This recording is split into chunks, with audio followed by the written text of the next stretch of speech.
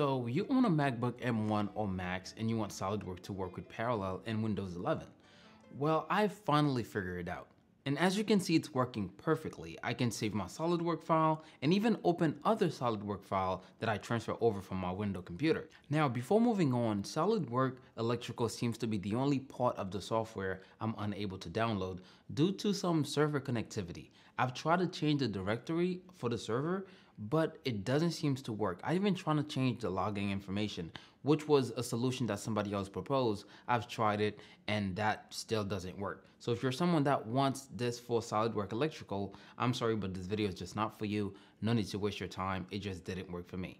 Now, here's the reason why SolidWorks isn't working for you. Parallels serve as a virtual machine within your Mac that allows you to run a secondary operating system. Whether it's Windows, Linux, or even Mac OS, SolidWorks is unable to reference any MacBook file whatsoever, and that is what Parallel is trying to do. Now, although SolidWorks doesn't technically technically support Windows 11, but Windows 11 isn't the problem. So don't try to find Windows 10 because as you can see, I'm running Windows 11 ARM64 on my M1 Max 32 without any giving issue. Now let's get into the solution. Download and set up Parallel as recommended from the website. After Windows 11 load up, go and download SolidWorks straight from the virtual machine. This is very important. Unzip the SolidWorks file. If it doesn't need to be unzipped, that's fine, don't worry about it. Just click on your setup to install SolidWorks. The first error that I kept getting was SolidWorks was unable to locate the proper SP folder. That folder should be on your MacBook download. For some reason, SolidWorks create that folder in the Mac drive instead of the local drive, which is where it should be. That folder is called SolidWorks Download, and when you open that folder, you'll see another folder called SolidWorks 2021 SP. Then there's two numbers, mine is 03, but it might be different for you. Take SolidWorks Download folder, which you should have the SolidWorks SP inside of it, drop it straight into your local disk of the virtual machine. Do not put it inside any other folder, just drop it inside your local disk, which I believe is disk C. Even after this step, you're still going to come across another big issue, which is SolidWorks still don't fully understand which machine it should technically install and operate on. So you need to go to parallel setting and go to file sharing and make sure that you have share folder on none and share cloud folder with Windows uncheck. Then on the Windows side, uncheck access window folder for Mac. Ladies and gentlemen, I give you SolidWorks on M1 Max. You can save and reopen files, however, everything is available on your virtual machine only.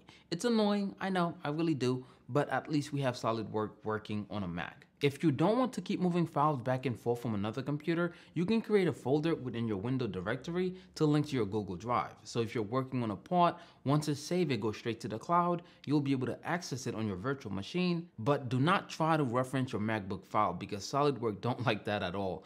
And every time you try, it's gonna fail. Most likely you're gonna mess something up, so don't just, don't try it.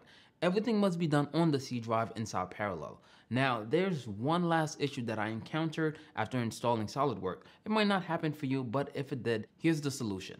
It was a black screen, and that had to do with memory that Parallel had automatically, which I believe was 4 gig. That was just too low for SolidWorks, so I had to raise it up to 26 gigabyte. In terms of electrical SolidWorks though, even if you receive the error for it, don't worry, everything will work, everything will install perfectly. So once again, once you follow these steps, there's three things that you must remember. Do not turn on file sharing between Parallel and your MacBook. For some reason, SolidWorks just really dislike sharing some type of information, which I get it because technically it's not supposed to be on a Mac OS, right?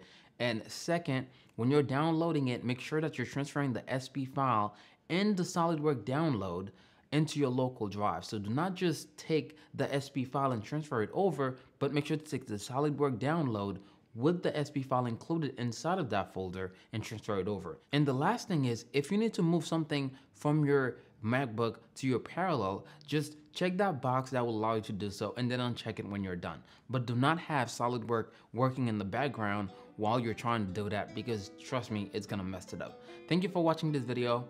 Go make a difference. See you in the next piece. Bye.